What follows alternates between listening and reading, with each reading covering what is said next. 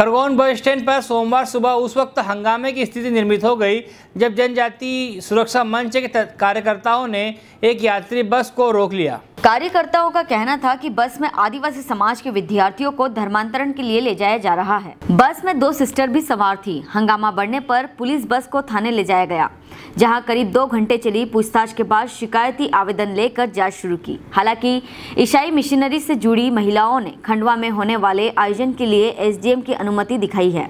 मंच के भगवान बड़ोले ने बताया कि वनवासी अंचल में शिक्षा और पैसों का लालच देकर आदिवासी लोगों का जबरन धर्म परिवर्तन कराया जा रहा है, जिससे अभी तक कई लोग अपना धर्म बदल चुके हैं। ऐसे ही एक मामले का खुलासा सोमवार को हिंदू संगठन द्वारा किया गया। खरगोन से जयंत गुप्ता की रिपोर्ट।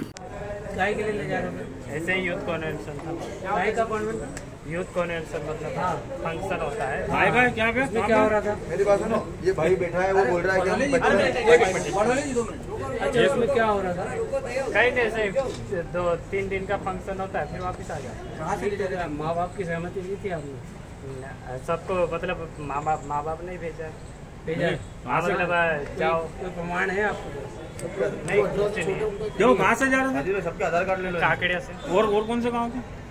बस वही क्या तो क्या क्या वहाँ कार्यक्रम क्या हलवा में इवेंट किस टाइप का होने वाला है?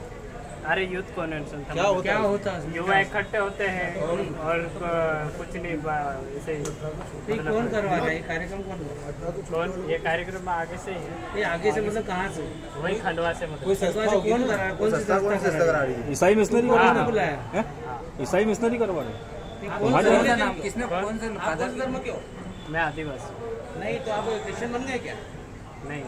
नहीं ये अपने श्रद्धा भावना से जा रहे हैं। कौन से बाबा ने फादर ने भेजा क्रॉस बना रखा हाथ में क्या? नहीं है ये पहले इसे बना लिया था बाद में फिर ये हमारा आदिवासी का कार्यक्रम हुए फिर मैंने छोड़ दिया। तो अभी तो इनके साथ जा रहे हैं नहीं ऐसे ही जा रहे लेते क्या नाम है आपका? आपका क्या नाम? आकाश। बच्चों को भी लेकर जाते हो? क्या? छोटे बच्चों को भी लेकर जाते हो? आकाश नाम। पूरा नाम सर ने आकाश सुलिया। कहाँ रहते? हो? काकड़िया। संगठन के कार्यकर्ता और जनजाति सुरक्षा मंच के कार्यकर्ता अभी सुबह सुबह से हमें जानकारी मिली कि कुछ क्रिश्चियन महिलाएँ नन्हे मुन्ने नाबालिग बालक और कुछ वयस वयस्क बालकों को करीब चालीस से साठ लोगों को लेकर बस स्टैंड से खंडवा की ओर जा रहे थे। हमारे हिंदू जनजाति सुरक्षा मंच के कार्यकर्ता तथा हिंदू धर्म जागरण के कार्यकर्ताओं द्वारा उनको रोका गया और थाने लाया गया है।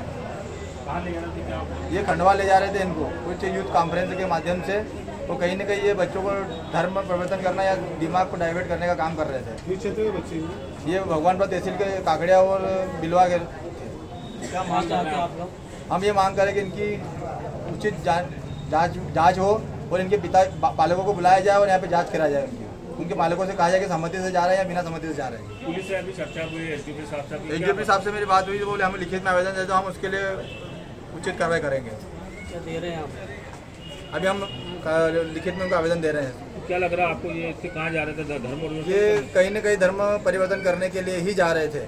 और ये लगातार हमारे जनजातीय क्षेत्रों में ये काम क्रिश्चियन लोगों के द्वारा किया जा रहा है। जनजाति सुरक्षा मंच लगातार मांग भी उठा रहे हैं। जनजातीय सुरक्षा मंच लगातार मांग उठा रहा है और संविधान में तीन सौ बयालीस के अनुच्छेद में संशोधन की मांग भी कर रहा है लगातार कि ये जो लोग धर्म परिवर्तन कर रहे हैं इनका आरक्षण सूची से नाम डिलीट किया जाए। आपने अभी के लिए रैली भी महारैली भी निकाली। उसी का परिणाम है कि आज ये लोग हमें बड़ी तादाद में पकड़े गए। क्या नाम है? क्या आवेदन के क्या क्या मांगे रखिए आप क्या चाहते हैं? हम ये चाह रहे हैं कि या तो ये एक तो इनके पालकों से हमारी बातचीत कराई जाए और इन सभी के आधार कार्ड लिए जाएँ। और एक हमें ये भी सूचना मिली कि एसडीएम साहब की सहमति से जा रहे हैं। उनको जानकारी में उनके लेटर जारी करा एस एसडीएम साहब ने। तो हमें उस लेटर की कापी भी चाहिए। क्या नाम लिखते हैं? भागीरथ बड़ोले जनजाति सुरक्षा मंच सोशल मीडिया प्रभारी। हेलो फ्रेंड्स आप देख रहे हैं हमारा channel S W twenty four news हमारे सारे वीडियो सबसे पहले देखने के लिए आप हमारे चैनल को सब्सक्राइब करें और पास में लगे बेल आइकोन को दबाना बिल्कुल भी ना भूलें।